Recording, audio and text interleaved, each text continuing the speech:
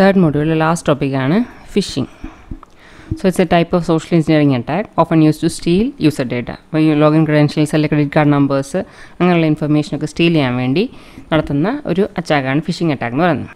അപ്പോൾ ഒരു അറ്റാക്കർ ഒരു ട്രസ്റ്റഡ് എന്റിറ്റി ആണ് എന്നുള്ള രീതിയിലായിരിക്കും കമ്മ്യൂണിക്കേറ്റ് ചെയ്യുക വിക്ടിമുമായിട്ട് ഒന്നുകിൽ മെയിൽ വഴി അല്ലെങ്കിൽ മെസ്സേജ് വഴി. എന്നിട്ട് റെസിപ്പിയനെ ആ മാലിഷ്യസ് ലിങ്കിൽ ക്ലിക്ക് ചെയ്യാൻ വേണ്ടി പ്രേരിപ്പിക്കുക. So which can let to the installation of malware so it's a process of luring a victim to a fake website by clicking on a link അപ്പോൾ നമ്മളെ വിക്ടിമിനെ ഒരു ഫേക്ക് വെബ്സൈറ്റിലേക്ക് എത്തിക്കുക. ഒരു ലിങ്ക് കൊടുത്ത് ആ ലിങ്കിൽ ക്ലിക്ക് ചെയ്യുന്നത് വഴി. So victim usually encounters a link in an email message send to him or on a web page being browse to him അപ്പോൾ ഈ ലിങ്കിലേക്ക് എത്താൻ വേണ്ടിയുള്ള രണ്ട് ഓപ്ഷൻസ് ആണ് ഇപ്പോൾ പറഞ്ഞത്. ഒന്നുകിൽ മെയിൽ വഴി ആൾക്ക് സെൻഡ് ചെയ്ത് കൊടുക്കുക. ഈ മെയിലിൽ സബ്ജക്റ്റും കാര്യങ്ങളൊക്കെ ആൾക്ക് അട്രാക്റ്റീവ് ആവുന്ന രീതിയിൽ ഓപ്പൺ ചെയ്യാൻ തോന്നിക്കുന്ന രീതിയിലാക്കി മാറ്റിയിട്ട് മെയിൽ അയക്കുക. ആ മെയിലിൽ ലിങ്ക് അയക്കുക. അത് അല്ലെങ്കിൽ ആൾ ബ്രൗസ് ചെയ്യുന്ന ഏതെങ്കിലും ഒരു വെബ് പേജിൽ ഈ മാലീഷ്യസ് ലിങ്ക് ക്ലിക്ക് ചെയ്യാം. അപ്പോൾ ഇങ്ങനത്തെ എക്സാമ്പിൾസ് രണ്ടാം എണ്ണം കാണിച്ചിട്ടുണ്ട്. Click here lucky draw dot com to claim your prize second one is urgent attention of all true blank account holders അപ്പോൾ ഇപ്പോൾ ഒരു സെക്യൂരിറ്റി ബ്രീച്ച് ഉണ്ടായിട്ടുണ്ട്. അപ്പോൾ എല്ലാ കസ്റ്റമേഴ്സിനെ അറിയിക്കാൻ പോകണം അവരുടെ അക്കൗണ്ട് ഡീറ്റെയിൽസ് ഈ ഒരു പർട്ടിക്കുലർ ലിങ്കിൽ പോയിട്ട് വെരിഫൈ ചെയ്യണം എന്ന് പറഞ്ഞിട്ടാണ് നമ്മളുടെ ലിങ്ക് വരുന്നത് കരുതുക. അപ്പോൾ ഈ വിക്ടിം ഈ ലിങ്കിൽ ക്ലിക്ക് ചെയ്യുമ്പോൾ ആൾ ആളുടെ ഡീറ്റെയിൽസ് അല്ലെങ്കിൽ ഈ അക്കൗണ്ട് ഡീറ്റെയിൽസ് ആൾ കൊടുക്കുന്നുണ്ടെങ്കിൽ sensitive information credit card numbers user login അല്ലെങ്കിൽ പാസ്വേഡ് ഇതെല്ലാം അറ്റാക്കറിന് കിട്ടും. അപ്പോൾ ഫിഷിങ്ങിന്റെ ഒരു സെനറിയാണ് ഇവിടെ കാണിച്ചേക്കുന്നത് this is attack attack sends email to the victim അപ്പോൾ ഫസ്റ്റ് സ്റ്റെപ്പ് അറ്റാക്കർ വിക്ടിമിന് ഒരു മെയിൽ അയച്ചു. ഈ വിക്ടിം എന്ത് ചെയ്തു? ആ മെയിലിൽ ക്ലിക്ക് ചെയ്തു എന്നിട്ട് ആ ഫിഷിംഗ് വെബ്സൈറ്റിലേക്ക് പോയി. ഇനി അവിടെ എത്തി കഴിയുമ്പോൾ അറ്റാക്കർ കളക്ട്സ് വിക്ടിംസ് ക്രെഡൻഷ്യൽസ് അപ്പോൾ ഈ ഈ ഈ വെബ്സൈറ്റ് വഴി ആളെ റീഡയറക്റ്റ് ചെയ്യുന്നത് വഴി ഈ വിക്ടിമിന്റെ ക്രെഡൻഷ്യൽസ് അറ്റാക്കറിന് കിട്ടി.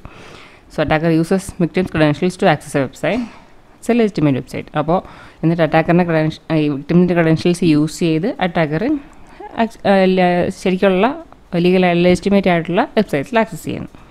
അപ്പോൾ ഈ ഒരു പ്രോസസ്സ് വഴി ഈ അറ്റാക്കർ വിക്ടിമിന്റെ ക്രെഡൻഷ്യൽസ് ആക്സസ് ചെയ്ത് അത് ഉപയോഗിക്കുകയാണ് ചെയ്തത്.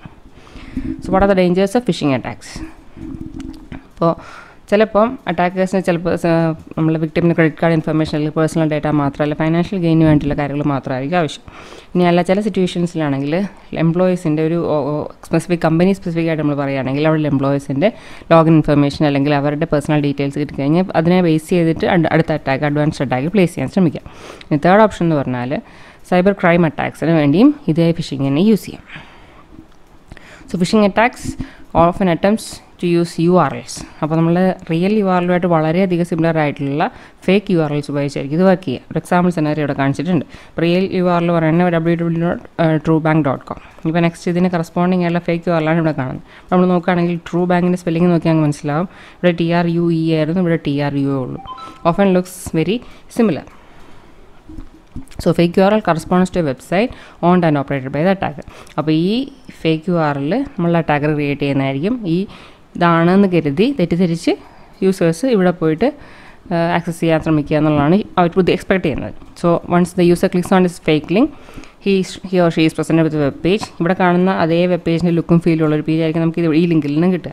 ഒറിജിനൽ വെബ്സൈറ്റ് പോലെ തന്നെ തോന്നും. എന്നിട്ട് ആളോട് നെക്സ്റ്റ് ലോഗിനെ അല്ലെങ്കിൽ യൂസർ ലോഗിൻ ക്രെഡൻഷ്യൽസ് എന്റർ ചെയ്യാൻ വേണ്ടി പറയും യൂസർ നെയിം ആൻഡ് പാസ്വേഡ് ഇനി നെക്സ്റ്റ് ആളെ എന്റർ ചെയ്ത് കഴിയുമ്പം അവർക്കുള്ള ഡീറ്റെയിൽസ് കിട്ടി. നെക്സ്റ്റ് സ്റ്റെപ്പിൽ അവർ ചെയ്യുമ്പോൾ യൂസറിന് സംശയം തോന്നാതിരിക്കാൻ വേണ്ടി ആളിനെ വീണ്ടും റീഡയറക്റ്റ് ചെയ്ത് ഒറിജിനൽ വെബ്സൈറ്റിലേക്ക് വിടുകയും ചെയ്യും. അപ്പോൾ അതിനുള്ളിൽ അറ്റാക്കിന് വേണ്ട സെൻസിറ്റീവ് ഇൻഫർമേഷൻ പാസ്വേഡോ എന്താ ലോഗിൻ ക്രെഡൻഷ്യൽസോ ക്രെഡിറ്റ് കാർഡ് നമ്പർ അങ്ങനെയുള്ള ഡീറ്റെയിൽസൊക്കെ ആൾ ആക്സസ് ചെയ്തിട്ടുണ്ടായിരിക്കും.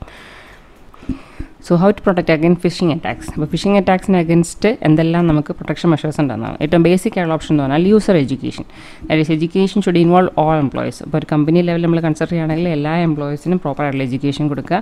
ഇനി കൂടുതലും ഈ ടൈപ്പ് ഓഫ് അറ്റാക്ക് ടാർജറ്റ് ചെയ്യുന്ന ഹൈ ലെവൽ ഓഫീഷ്യൽസിനായിരിക്കും മീൻസ് അവരുടെ നിന്നായിരിക്കും കൂടുതൽ ഇൻഫർമേഷൻ അവർക്ക് അറ്റാക്കിന് റിസീവ് ചെയ്യാനുണ്ടാവുക. അതുപോലെ തന്നെ ഒരു ഫിഷിംഗ് മെയിൽ വരികയാണെങ്കിൽ അത് എങ്ങനെ ഐഡന്റിഫൈ ചെയ്യും? അല്ലെങ്കിൽ എന്താണ് നെക്സ്റ്റ് ചെയ്യേണ്ടത് എന്നുള്ളത്. അതുപോലെ തന്നെ ഈ ഇങ്ങനെയുള്ള സിറ്റുവേ സിറ്റുവേഷൻസിന്റെ കറസ്പോണ്ടിങ് ആയിട്ട് സിമുലേഷൻ നടത്തി സിമുലേഷൻ എക്സസൈസുകൾ വഴി നമ്മുടെ യൂസേഴ്സിനെ എഡ്യൂക്കേറ്റ് ചെയ്യുക അല്ലെങ്കിൽ എംപ്ലോയീസിനെ എഡ്യൂക്കേറ്റ് ചെയ്യുക. അതാണ് ഫസ്റ്റ് ഓപ്ഷൻ സെക്കൻഡ് ഓപ്ഷൻ എന്ന് പറഞ്ഞാൽ സെക്യൂരിറ്റി ടെക്നോളജീസ് യൂസ് ചെയ്യാം. അപ്പോൾ ഒരു സിംഗിൾ ടെക് ടെക്നോളജി ഉപയോഗിച്ച് നമുക്ക് ഈ അറ്റാക്കിനെ പ്രിവെന്റ് ചെയ്യാൻ വേണ്ടി പറ്റില്ല. അപ്പോൾ ഓർഗനൈസേഷൻസിൽ കൂടുതലും ലെയർഡ് അപ്രോച്ചാണ് യൂസ് ചെയ്യുന്നത് to reduce the number of attacks network സെക്യൂരിറ്റിക്ക് വേണ്ടിയുള്ള ടെക്നോളജീസ് അതായത് ഇമെയിൽ വെബ് വെബ് സെക്യൂരിറ്റികൾ ടെക്നോളജീസിൽ ഓപ്പറേറ്റ് ചെയ്യുക മാൽവെയർ പ്രൊട്ടക്ഷൻ യൂസ് ചെയ്യുക യൂസർ ബിഹേവിയർ മോണിറ്റർ ചെയ്യുക ആക്സസ് കൺട്രോൾ ഇതെല്ലാം വഴി ഫിഷിങ്ങിനെ പ്രിവെന്റ് ചെയ്യാനായിട്ട് ശ്രമിക്കുക. Third method is email authentication next think before you click വെച്ചാൽ നമ്മൾ ഏതൊരു മെയിൽ വന്ന് ജസ്റ്റ് ഒരു ലിങ്ക് കാണുമ്പോൾ തന്നെ ആദ്യമേ കയറി ക്ലിക്ക് ചെയ്യുന്നതിന് പകരം അതിനെപ്പറ്റി അത് ക്ലിക്ക് ചെയ്യാൻ നല്ലതാവുമോ എന്നുള്ളത് ആലോചിച്ചിട്ട് മാത്രം ചെയ്യാം. Then next is install anti phishing tool verify site security സൈറ്റിലേക്ക് കയറുന്നതിന് മുമ്പ് സെക്യൂർ ആണോ എന്നുള്ളത് ചെക്ക് ചെയ്യുക. സെക്യൂർ ഓൺലൈൻ അക്കൗണ്ട് റെഗുലർലി ഇപ്പോൾ നമ്മളുടെ അക്കൗണ്ടിൽ എവിടെയെങ്കിലും കൊടുത്ത് വേറെ ആരെങ്കിലും അത് ഉപയോഗിച്ച് മലീഷ്യസ് ആക്ടിവിറ്റീസ് ചെയ്യുന്നുണ്ടോ ഇല്ലയോ എന്നുള്ളത് നമ്മൾ ചെക്ക് ചെയ്തുകൊണ്ടേ ഇരിക്കുക so keep your browser up to date and use firewalls അപ്പോൾ ഇതെല്ലാം നമുക്ക് പ്രൊട്ടക്ഷൻ വേണ്ടി യൂസ് ചെയ്യാൻ പറ്റുന്ന മെഷേഴ്സ് ആണ്.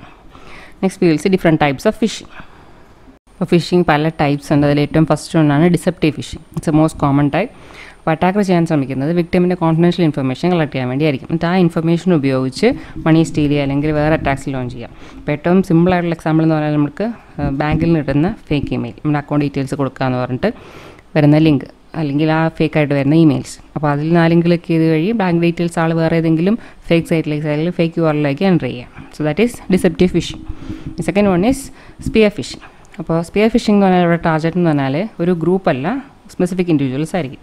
സോ അറ്റാക്കേഴ്സ് അങ്ങനെയുള്ള വിക്ടിംസിനെ കണ്ടുപിടിക്കാൻ വേണ്ടി അവർ സോഷ്യൽ മീഡിയയിലൊക്കെ റിസർച്ച് നടത്തി അല്ലെങ്കിൽ അങ്ങനെ ഉള്ള അപ്രോച്ചുകൾ വഴി അറ്റാക്കേഴ്സിനെ അല്ലെങ്കിൽ ടാർജറ്റിനെ അവർ ഐഡന്റിഫൈ ചെയ്യും.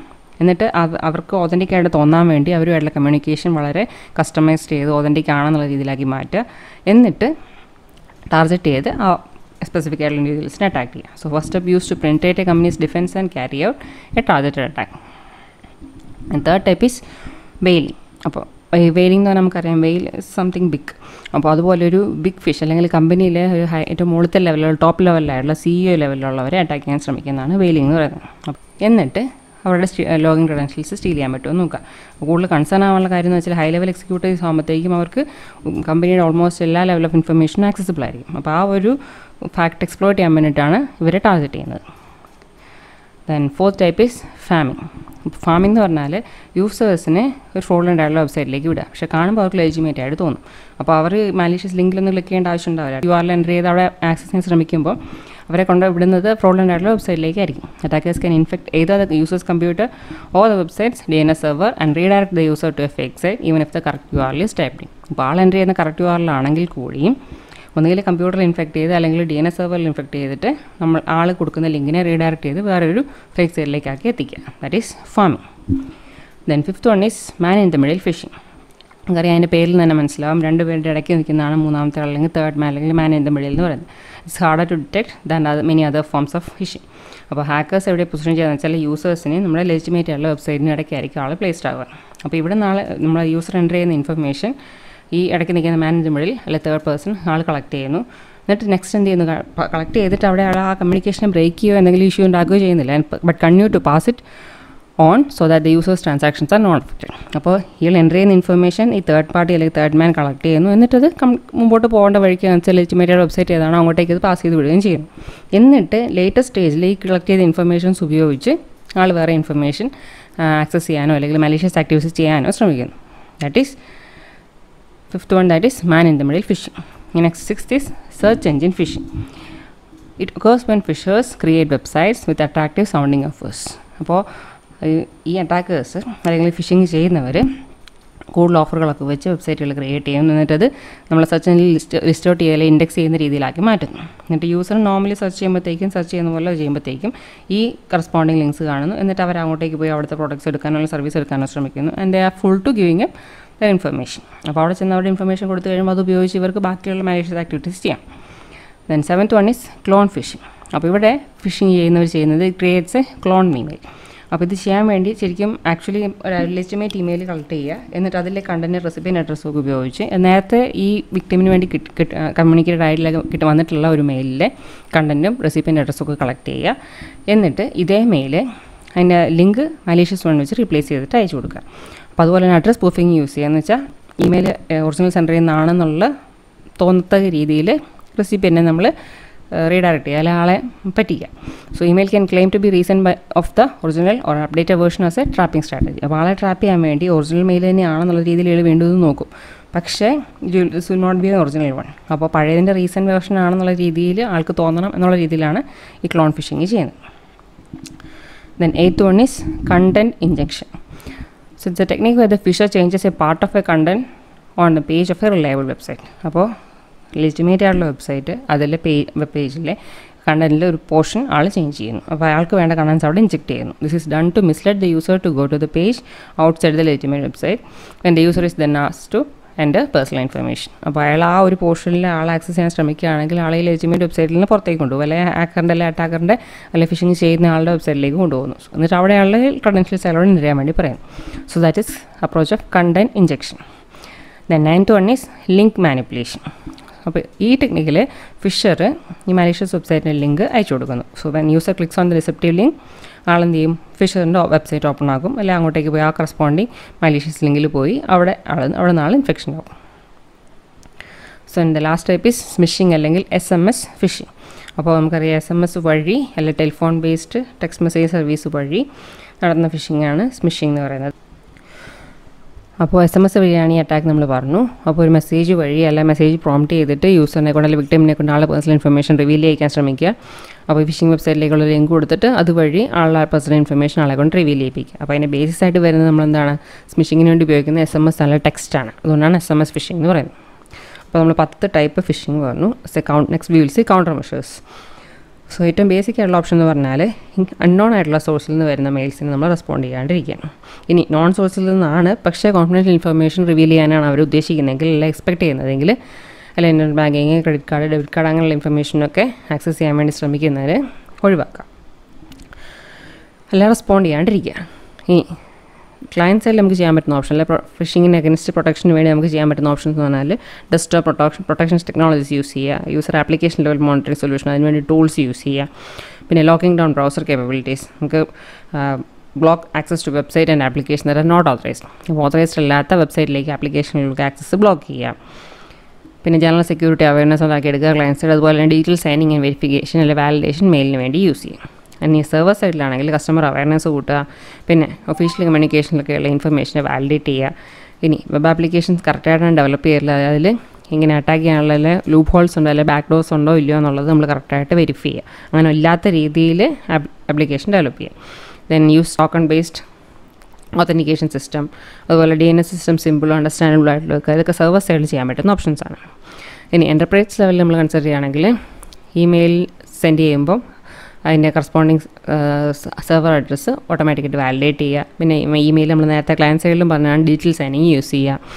Then monitoring of corporate domain and notification of similar registration ഒരേപോലെ ഒരേ പോലത്തെ ഒന്ന് കൂടുതൽ രജിസ്ട്രേഷൻസ് വരുന്നുണ്ടെങ്കിൽ അതിനെ മോണിറ്റർ ചെയ്തിരിക്കുക.